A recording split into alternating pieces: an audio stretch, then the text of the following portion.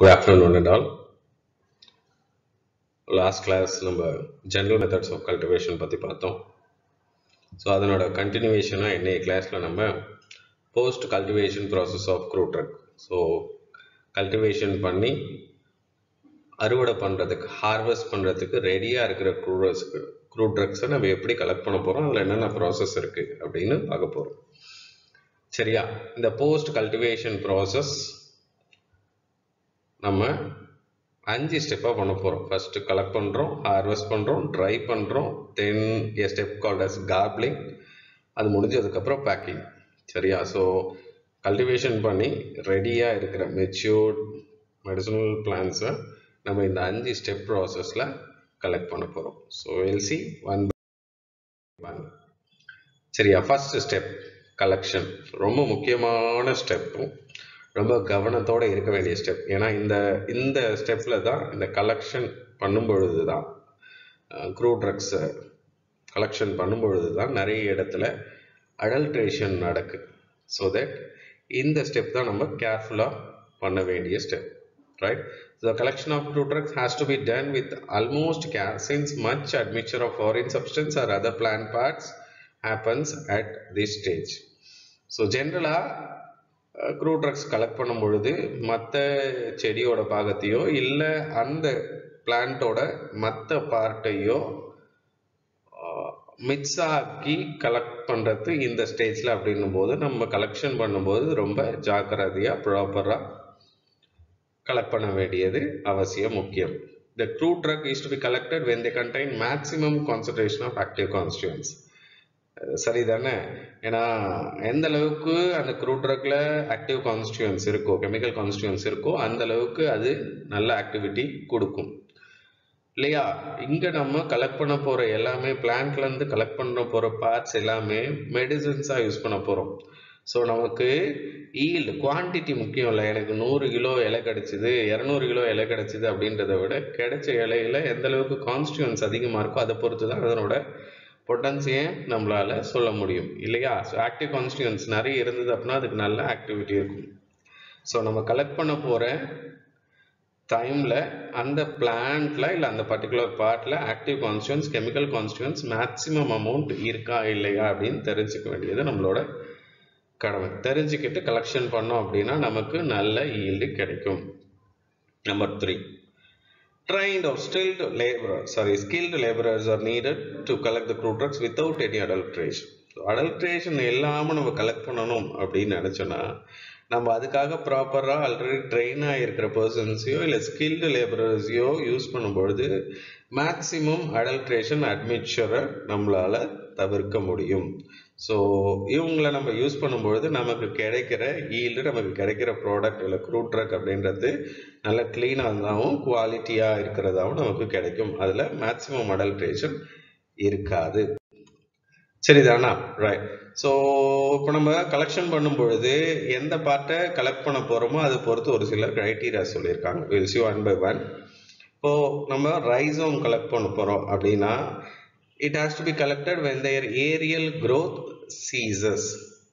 It has to be collected when their aerial growth ceases. அந்த செடியோட இலையோ இல்லை மற்ற ஏரியல் பார்ட்டோட growth நிற்கும் பொழுது தான் ரைசம் அப்படின்றத நம்ம கலெக்ட் பண்ணணும் அப்படின்னு சொல்கிறாங்க ரைட் ஸோ அந்த சமயத்தில் கலெக்ட் பண்ணும்போது அந்த ரைசோமில் இருக்க கெமிக்கல் கான்ஸ்டுவன்ஸோட கண்டென்ட்டு மேக்ஸிமமாக இருக்கும். நிறைய அதிகமாக இருக்கும் அப்படின்றது க்ரைட்டீரியா இப்போ நம்ம கலெக்ட் பண்ண போகிறது லீஃபாக இருந்தால் it has to be collected before the plant reaches flowering stage so அந்த பிளான்ட்டு ஃப்ளவரிங் இல்லை ஃப்ரூட்டிங் அப்படின்னு ரீப்ரொடக்டிவ் ஸ்டேஜுக்கு போகிறதுக்கு முன்னாடி லீவ்ஸை கலெக்ட் பண்ணோன்னா அந்த லீவ்ஸில் கெமிக்கல் கான்ஸ்டியூன்ஸ் நிறைய இருக்கும். ஸோ ஒன்ஸ் பிளான்ட் வந்துட்டு ஃப்ளவரிங் ஸ்டேஜுக்கு ரீச் ரீச் ஆகிடுச்சு அப்படின்னா ஆட்டோமேட்டிக்காக அந்த பிளான்ட் வந்துட்டு லீஃப் மேலே பெருசாக கான்சென்ட்ரேட் பண்ணாது. லீஃப் க்ரோத் பெருசாக இருக்காது. அப்போ கண்டிப்பாக லீஃபில் கான்ஸ்டியூன்ஸ் அப்படின்றதும் நிறைய இருக்காது. ஸோ நமக்கு லீஃப் வேணும் அப்படின்னா அந்த செடி பூ பூக்கிற ஸ்டேஜ்க்கு வர்றதுக்கு முன்னாடி லீஃபை கலெக்ட் பண்ணிக்கணும். ரைட் ஒரு சில லீஃபும் when it is sufficiently thick when it is sufficiently for example இப்போ நம்ம இப்படியே எடுத்துக்கோமே கத்தாழையே எடுத்துக்கோமே கத்தாழை வந்துட்டு உள்ளே இருக்கிற ஜூஸ் தான் நம்ம கட் பண்ணி எடுக்க போகிறோம் ஸோ எந்த அளவுக்கு திக்காக பல்ஜராக எடுக்கிறோமோ அந்த அளவுக்கு நமக்கு ஜூஸ் குவான்டிட்டி அதிகமாக கிடைக்கும் right as like that some other examples are there ஒரு சில லீவ்ஸ் மட்டும் நம்ம எந்த அளவுக்கு திக்காக இருக்கோ மேக்ஸிமம் திக்னஸ் அப்போ நம்ம கலெக்ட் பண்ணது நல்லது right if it is flower before pollination or full expansion so ஒருவேளை எனக்கு பூ வேணும் அப்படின்னா அந்த பூ வந்துட்டு ஃபுல்லாக மலர்றதுக்கு முன்னாடி முழுசாக டோட்டலாக எக்ஸ்பேண்ட் ஆகிறதுக்கு முன்னாடி ஆர்எல்ஸ் அந்த பூ பழமாக மாறுறதுக்கு முன்னாடி பாலினேட் ஆகிட்டு பழமாக காயாக மாறுறதுக்கு முன்னாடி பறிச்சுக்கணும். பெஸ்ட்டும் அந்த பூ முழுசாக ஓப்பன் ஆகாததுக்கு முன்னாடி பறிச்சுக்கிறது நல்லது. Right if it is bark பட்டையாக இருந்தால் இன் ஜென்ரல் சம்மர் சீசனில் பார்க்க கலெக்ட் பண்ணுவோம். சம்டைம்ஸ் இன் ரெய்னி சீசன் ஒரு சில பட்டை வந்துட்டு மரத்துலேருந்து எடுக்கிறதுக்கு ஈஸியாக இருக்கும் அப்படின்றதுக்காக ரெய்னி சீசன் அப்படின்னு சொல்லுவாங்க. ரெய்னி சீசனில் ஊறி மழையில் தண்ணியில் ஊறி பட்டை ஈஸியாக இருக்கும் எடுக்கிறதுக்கு ரிமூவ் பண்ணுறதுக்கு இல்லையா? So that they will that right if it is fruit depends அப்போ வந்து டைப் ஒருவேளை பழம் வேணும் அப்படின்னா ரைப்பா அன்ரைப்பா அப்படின்றத பொறுத்து நமக்கு இந்த க்ரைட்டீரியாஸ் மாறும். அன்ரைப் ஃப்ரூட்டாக இருந்தால் பழுக்கிறதுக்கு முன்னாடி நல்ல காயாக பச்சையாக இருக்கும் போதே எடுத்துப்போம். ரைப்பண்ட் ஃப்ரூட்டாக வேணும்னா அது நல்ல கலராக மாறி பழுத்ததுக்கப்புறம் எடுப்போம். ஸோ நமக்கு எந்த பார்ட் வேணுமோ அதை பொறுத்து இந்த க்ரைட்டீரியாஸை ஃபாலோ பண்ணி நம்ம கலெக்ஷன் பண்ண போகிறோம் ஸ்கில்டு லேபரர்ஸை யூஸ் பண்ண போகிறோம் ஸோ இந்த விஷயங்கள்லாம் நம்ம ஃபாலோ பண்ணுறதால நம்ம அடல்ட்ரேஷன் இல்லாத மிச் அட்மிக்சர் இல்லாத ஃபாரின் சப்ஸ்டன்ஸ் இல்லாத க்ரூ ட்ரக்ஸாக கலெக்ட் பண்ண முடியும். அண்ட் நம்ம கலெக்ட் பண்ண க்ரூ ட்ரக்ஸை கெமிக்கல் கான்ஸ்டியூன்ஸ் மேக்ஸிமம் கண்டென்ட் இருக்கும். ரைட் ஓகே அந்த ஜென்ரல் கிரைட்டீரியாஸ் பார்த்தோம் இல்லையா? அதில் if it is a root in spring before vegetative growth stops பொதுவாக ஸ்ப்ரிங் சீசன் சமயத்தில் இல்லை அந்த ஸ்டார்ட் ஆஃப் ஸ்ப்ரிங் சீசனில் நம்ம ரூட்ஸ் கலெக்ட் பண்ணணும். ஏன் அப்படின்னு பார்த்தோன்னா அந் அந்த பீரியடுக்கு அப்புறம் தான் பொதுவாக அந்த செடி வந்துட்டு வெஜிடேட்டிவ் க்ரோத்தை ஸ்டாப் பண்ணிவிட்டு ரீப்ரொடக்டிவ் க்ரோத்துக்கு போதும். அதாவது பிளான்ட் வந்து ரெண்டு சைக்கிள் பண்ணணும்னு வச்சுக்கோமே. ஒன்று வந்து வெஜிடேட்டிவ் க்ரோத் அதில் வந்துட்டு பிரான்ச்சஸ் நிறைய உருவாகும் நிறைய லீவ் இருக்கும். சரியா இது வெஜிடேட்டிவ் க்ரோத் அப்படின்னு வச்சுப்போம். இதை தாண்டி அடுத்தது ரீப்ரொடக்டிவ் க்ரோத் அப்படின்ற இதுக்கு அந்த செடி போச்சுன்னா அல்டிமேட்டாக என்ன பண்ணும்? இலை உருவாகிறத குறைச்சிட்டு பூ பூக்க ஆரம்பிச்சிடும் பூ பழம் விதை. அடுத்து அதனோட ரீப்ரொடக்ஷனுக்கு போயிடும். சரிதானா? இப்போ இந்த ஸ்ப்ரிங் சீசன்ல அந்த வெஜிடேட்டிவ் க்ரோத் நிக்க போற சமயத்துல இல்ல ரீப்ரொடக்டிவ் க்ரோத் ஸ்டார்ட் ஆகிறதுக்கு முன்னாடி ரூட்ஸை நம்ம கலெக்ட் பண்றோம். Right? If it is unorganized drug when the particular part is matured and thick so unorganized drug அந்த அந்த செடியை இன்சைஸ் பண்ணியோ இல்லை வேறு ஏதாவது டேமேஜ் பண்ணியோ நம்ம வெளியில் எடுக்க போகிறோம் இல்லையா? கம்மோ லேட்டர் சம்திங் ரைட் ஸோ அந்த பர்டிகுலர் பார்ட் எந்த பார்ட்லேருந்து நம்ம அந்த அன்ஆர்கனைஸ்டை கலெக்ட் பண்ண போகிறோமோ அந்த பார்ட் நல்ல மெச்சூர்டாக இருக்கும் பொழுது கலெக்ட் பண்ணணும் அப்படின்னு சொல்கிறாங்க ரைட் சரி இஃப் நம்மளோட ட்ரக் வந்து பார்க்காக இருக்குது பட்டையாக இருந்ததுன்னா it can be collected by any one of these three method uprooting felling coppicing இப்படி மூணு இருக்குது அப்ரூட்டிங் ஃபெல்லிங் காப்பிசிங் அப்ரூட்டிங் அப்படின்றது உங்களுக்கே தெரியும். மொத்தமாக வேரோட பிடுங்கி எடுத்துடுறோம் பிடுங்கி எடுத்துட்டு பட்டையை மட்டும் இழுத்துக்கிறோம் பிச்சு. இது அப்ரூட்டிங் ரைட் ஃபெல்லிங் அப்படின்றது பார்த்தோன்னா பூமியோட கட் பண்ணிடுறோம். சரியா? நிலத்தோட பூமியோட சேர்த்து கட் பண்ணிடுறோம். வேரை மட்டும் விட்டுறோம் which is call felling coppicing அப்படின்றது தான் பொதுவாக நம்ம மெடிசினல் பிளான்ட் கல்டிவேஷனில் யூஸ் பண்ணுற மெத்தடாலஜி சரியா? இந்த காப்பிசிங்கில் என்ன பண்ணோம்? பூமியிலேருந்து ஒரு குறிப்பிட்ட டிஸ்டன்ஸ் மேலே பிளான்ட்டை விட்டுடுறோம். பூமியிலேருந்து ஒரு டென் டு டுவெண்ட்டி சென்டிமீட்டர் செடியை இல்லை அந்த மரத்தை விட்டுட்டு அதுக்கு மேலே கட் பண்ணிடுறோம். சரியா? இப்போ இந்த டென் டு டுவெண்ட்டி சென்டிமீட்டர் நம்ம விட்டுருக்கோம் இல்லையா? அதுலேருந்து ஃப்ரெஷ்ஷான பிரான்ச்சஸ் வரும். Then that will get mature அது மெச்சூர் ஆனதுக்கப்புறம் திரும்ப அதை கல் கட் பண்ணும் இது காப்பிசிங் இந்த காப்பிசிங் அப்படின்ற மெத்தட் தான் நம்ம மெடிசனல் பிளான் கல்டிவேஷனில் காமனாக யூஸ் பண்ணுற மெத்தட் சரிதானா? ரைட் சரி இப்போ இந்த ஸ்கில்டு லேபர்ஸ் வச்சு நம்ம கலெக்ட் பண்ணிட்டோம். அடுத்த ரெண்டாவது ஸ்டெப் ஹார்வெஸ்டிங் ஆக்சுவலாக இது harvesting collection nearly one some persons ரெண்டுத்தையும் சேர்த்து சொல்லுவாங்க.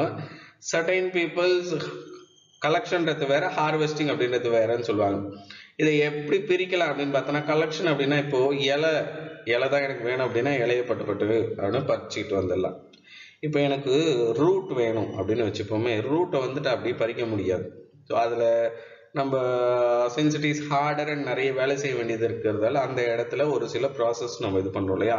ஸோ அது மாதிரி ப்ராசஸ் பண்ணுற இடத்த நம்ம ஹார்வெஸ்டிங் அப்படின்னு குறிச்சிக்கிறோம்.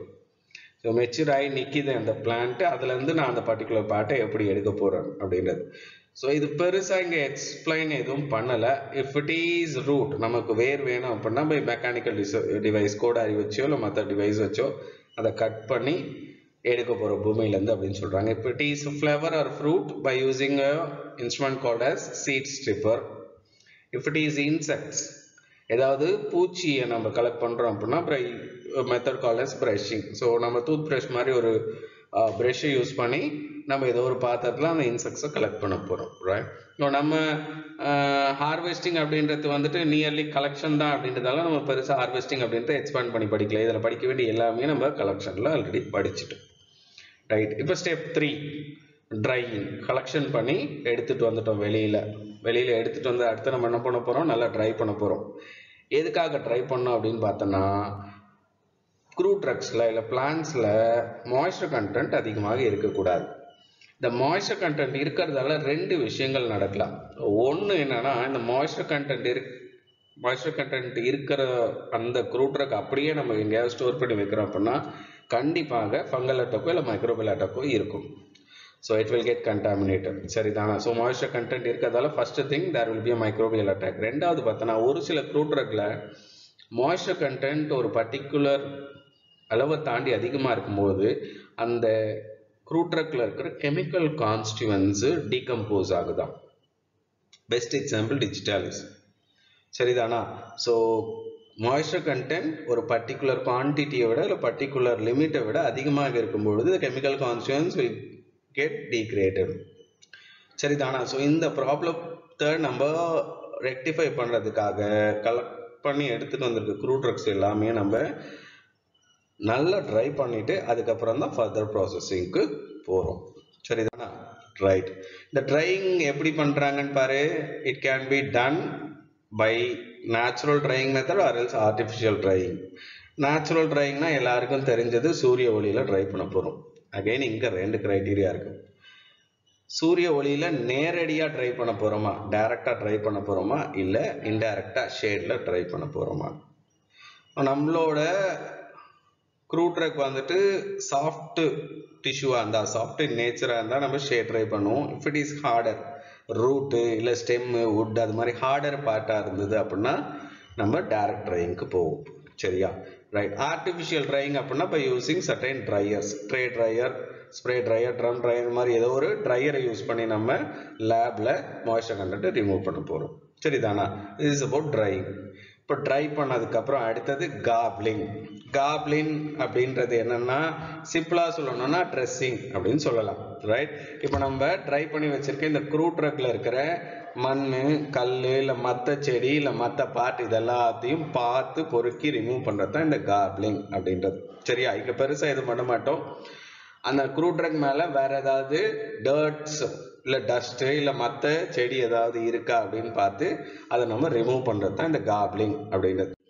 இந்த காப்லிங் முடிஞ்ச உடனே பேக்கிங்கு கொண்டு போயிடும். ஸோ பொதுவாக நமக்கு தெரிஞ்சது பேக்கிங் அப்படின்னா க்ரூ ட்ரக்கை சாக்கு முட்டையில் கோணிப்பையில் போட்டு கட்டுறது இல்லையா? பட் எல்லா பிளான் பார்ட்ஸையும் அது மாதிரி கட்ட மாட்டாங்க கட்டவும் கூடாது. Right so based on what is the plant part we had collected எந்த பிளான் பார்ட்டை நம்ம கலெக்ட் பண்ணியிருக்கோமோ அதை பொறுத்து இங்கே எதில் பேக் பண்ண போகிறோம் அப்படின்றதும் டிஃபர் ஆகும். சரிதானா ஜென்ரலாக harder parts like sorry roots பார்க்கும் இல்லை ஸ்டெம்மு வுட்டு மாதிரி ஹார்டர் பார்ட்ஸை நம்ம கன்னி பேக்ஸில் பேக் பண்ணுவோம். மற்றது it will go on differ நான் ஒரு சில ஸ்பெசிஃபிக் எக்ஸாம்பிள்ஸ் மட்டும் இங்கே சொல்லியிருக்கேன். ஃபார் எக்ஸாம்பிள் கத்தாழை ஆலோஸ் நம்ம எதில் பேக் பண்ணுறோம் கோட் ஸ்கின்ல தான் பேக் பண்ணுறோம் சரியா? எஸ்எஃப்ஓடிட்டாவை எதில் பேக் பண்ணுறோம் என்ன வெல் க்ளோஸ்ட் ஏர்டைட் கண்டெய்னரில் தான் பேக் பண்ணுறோம் காட் லிவர் ஆயில் ஃபிஷ்லேருந்து எடுக்கிற அந்த என்ன மீன் மாத்திரைன்னு சொல்லுவோம் இல்லையா? காட் லிவர் ஆயிலை நம்ம லைட் ரெசிஸ்டன்ட் கண்டெய்னரில் தான் பேக் பண்ணுறோம் ஏன்னா light may decompose vitamins present in it சரியா? இஃப் இட் இஸ் சின்னமன் நம்ம பட்டையாக அந்த வாசனை பட்டையாக இருந்தால் ஹஸ் குவில்ஸ் குவில்ஸாக பேக் பண்ணோம். குவில்ஸ் அப்படின்னா சுருட்டிக்கிறதுன்னு சொல்லுவாங்க. நம்ம அந்த சின்னமன் ட்ரக்கை பற்றி ப்ரீஃபாக பார்க்கும்போது பார்ப்போம். பொதுவாக பட்டையை நம்ம வெயிலில் காய வச்சோம் அப்படின்னா அது இப்படி ஃபோல்ட் ஆகிக்கும் இல்லையா? அந்த ஃபோல்ட் ஆகிக்கிறத குவில் அப்படின்னு சொல்லுவாங்க. ஸோ சின்னமன் பட்டையை நம்ம குவில்ஸாக தான் பேக் பண்ணணும். ரைட் ஸோ இது மாதிரி for each and every crude drug இல்லை each and every plant packing எதில் பேக் பண்ணணும் எப்படி பேக் பண்ணணும் ஸ்பெசிஃபிகேஷன்ஸ் இருக்குது ஏர் டைட் கண்டெய்னரா லைட் ரெஸ்டன் கண்டெய்னரா வெல் க்ளோஸ் கண்டெய்னரா இல்லை ஸ்பெசிஃபிக்காக அலுமினியம் கண்டெய்னரில் பேக் பண்ணணுமா இல்லை பிளாஸ்டிக் கண்டெய்னரில் பேக் பண்ணணுமா? இந்த மாதிரி நிறைய ஸ்பெசிஃபிகேஷன்ஸ் இருக்குது that differs on that that will differ from drug to drug ஒரு ஒரு க்ரூ ட்ரக்குக்கு ஒரு ஒரு மாதிரி இருக்கும். சரியா? ஸோ இன் ஜென்ரல் பார்த்தோன்னா ஹார்டர் பார்ட்ஸை நம்ம கனி பேக்ஸில் பேக் பண்ணிப்போம். மற்றது ஸ்பெசிஃபிகேஷன்ஸாக எது கொடுத்துருக்காங்களோ அந்த ஸ்பெசிஃபிகேஷன்ஸுக்கு தகுந்தபடி பேக்கிங் மெட்டீரியல் யூஸ் பண்ணிப்போம். சரிதானா? So this is about post cultivation process of crude drugs right உங்களுக்கு நல்லா புரிஞ்சிருக்கும்னு நினைக்கிறேன். ப்ளீஸ் உங்களுக்கு பிடிச்சிருந்ததுன்னா ஷேர் பண்ணுங்கள் சப்ஸ்கிரைப் பண்ணுங்கள் and if suppose if you need any specific topic topics urgently எனக்கு இந்த டாபிக் இப்போ வேணும் அப்படின்னு ஏதாவது குவரிஸ் இருந்ததுன்னா you please comment I will put a video on that as early as possible thank you very much